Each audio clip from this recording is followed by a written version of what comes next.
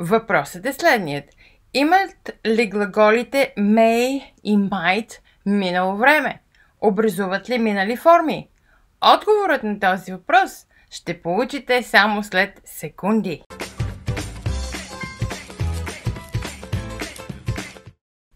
Здравейте! Добре дошли в уроците на Николая по английски. Аз съм Николая и преди да започнем да ви напомня да се абонирате за нашия канал. Натискате върху subscribe и после върху камбанката, за да ви уведомява от YouTube, когато качим ново видео. Наскоро се запознахме в детайли с глаголите may и might и тяхната употреба в сегашно време. То е време да видим как образуват те минало време. Как да говорим за съществувала възможност в миналото. Започваме. Между другото, това е граматика за напреднали, така че ако сте стигнали до тук и не знаете на какво ниво сте, вие сте доста напред с материала. Might и may образуват минало време, като към тях прибавим глагола have и се получава следното. Might have и may have. Или накратко might have, may have. Чуйте пак как се произнасят накратко. Така ще ги чувате. Have и have. Като майтап бе. значи, а, изобщо не е майтап, точно така се произнасят накратко тези думи или тази славосъчета, тези славосъчетания от а, думи. Сега да видим и употребите.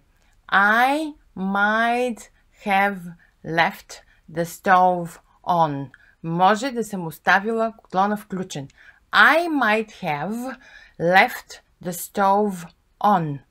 I might have left the stone on. The stove. Stove. Печката, котлона. Котлон е stove. Um, следващото изречение. I may have left the stove on. I may have left the stove on. Тези две думи, may и might, знаете, че са взаимно заместими.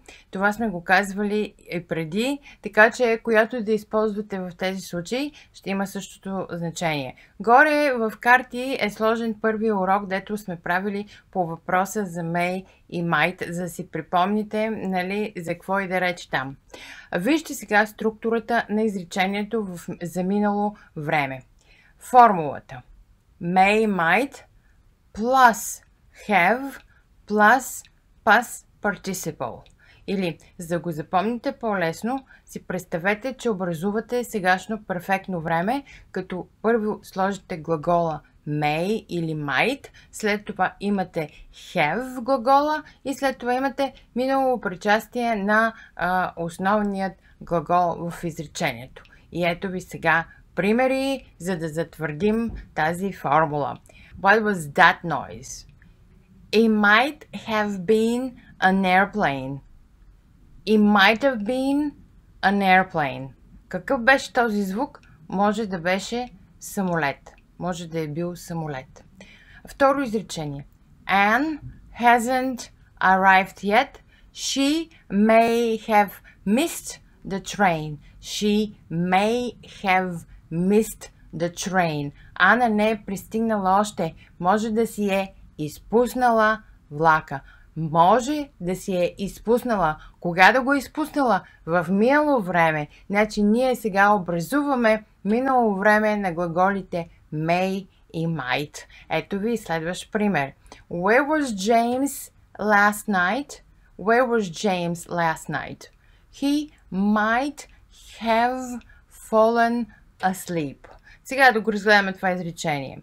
He might, след него имаме have, след него имаме, след него имаме fallen, което е миналото причастие на глагола fall. Така че при всички случаи трябва да си знаете миналите причастия на всичките глаголи и на тези, които са неправилни. Така че да питаме къде беше, къде беше Джеймс с нощи и да преведем. Може да е заспал. He might have fallen asleep.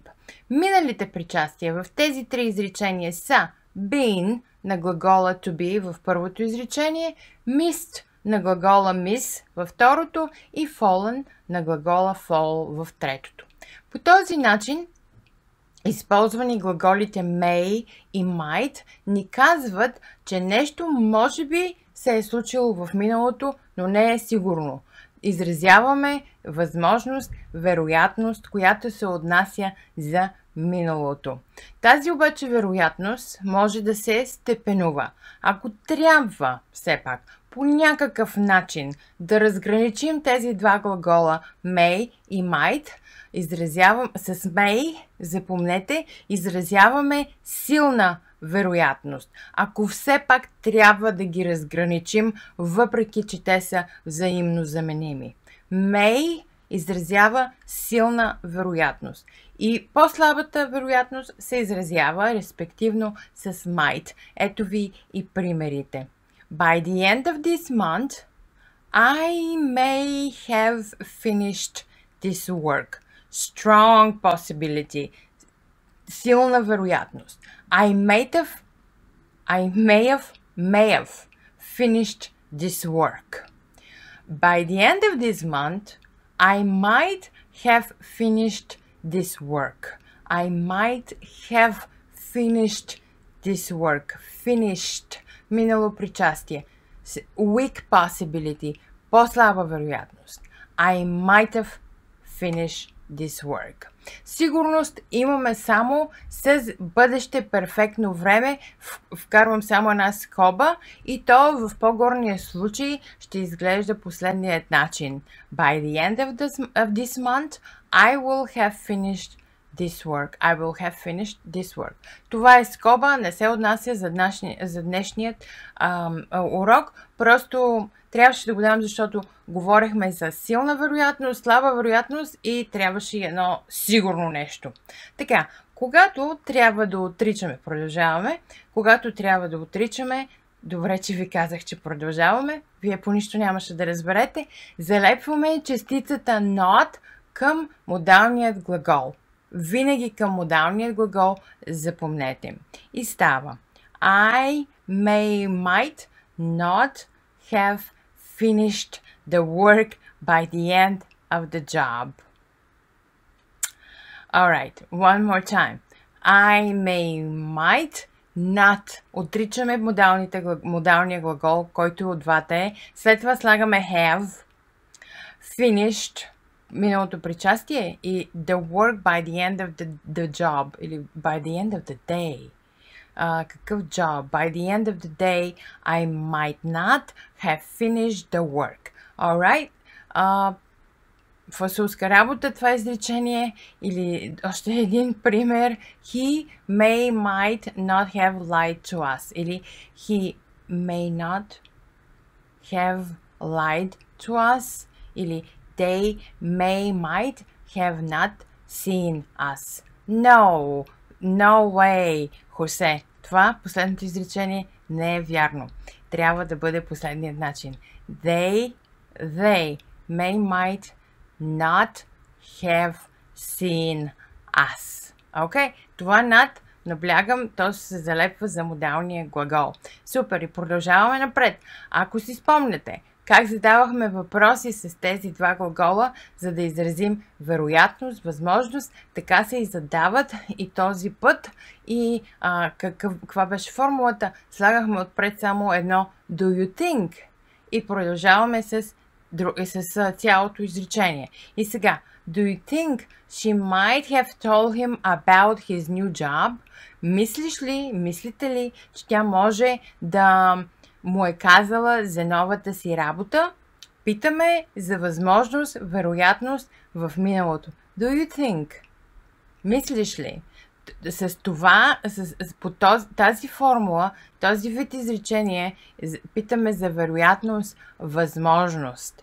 Или да вземем едно от предишните изречения и да го превърнем в въпросително.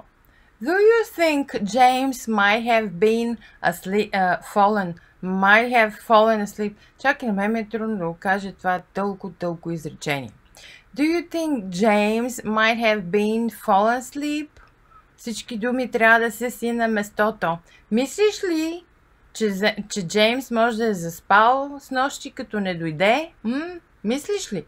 Да, това е вероятност. Или Do you think you might not have finished the work by the end of the day?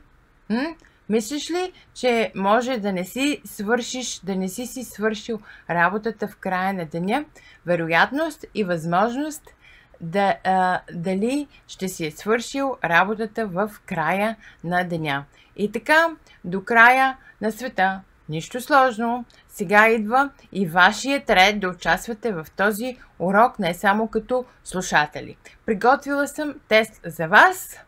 Префразирайте изреченията, които ще ви дам. И ето ги изреченията. Може да спрете видеото, както сме го правили преди, да си префразирате изречението и после да пуснете, за да видите как е трябвало да стане то. И първо изречение. Maybe she have called the wrong number. Maybe she have called the wrong number. Как ще парифразираме? Спираме видеото. Или пък може би сега да не го спирате, защото ще кажа и другото изречение. Is it possible that he was cooking dinner? Is it possible that he was cooking dinner? И трето изречение, което трябва да парафразирате. Perhaps my mother didn't want to talk to my brother. Perhaps, може би. My mother didn't want to talk to my brother. И сега ви давам изреченията и по начина по който аз съм ги направила. На първото изречение Maybe she have called the wrong number отговаря She might have called the wrong number. Next sentence. Is it possible that he was cooking dinner? Is it possible? He might have cooked dinner. And third sentence, perhaps my mother didn't want to talk to my brother. Perhaps she didn't want to talk to him. My mother might not have wanted to talk to my brother. Ето ви и цялото изречение. Лека по лека научете последователността в него. Надявам се, че с този урок и след него ще знаете как да изразявате вероятност, възможност в миналото или как да образувате минало време с may и might. Това беше всичко от мен за днес. Be safe and see you next time. Goodbye!